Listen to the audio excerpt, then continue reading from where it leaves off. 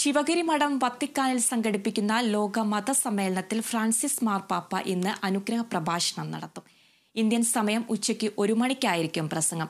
ശ്രീനാരായണ ഗുരു ആലുവയിൽ സംഘടിപ്പിച്ച ലോകമത സമ്മേളനത്തിന്റെ ശതാബ്ദി ആഘോഷങ്ങളുടെ ഭാഗമായാണ് വത്തിക്കാനിലും സമ്മേളനങ്ങൾ സംഘടിപ്പിക്കുന്നത്. സമ്മേളനത്തിന് തുടക്കം കുറിച്ച് ഇന്നലെ സ്നേഹസംഗമം നടന്നു. പതിനഞ്ച് രാജ്യങ്ങളിൽ നിന്നായി വിവിധ മതമേലധ്യക്ഷന്മാർ സമ്മേളനത്തിൽ പങ്കെടുക്കും. നാളെ സമ്മേളനം സമാപിക്കും.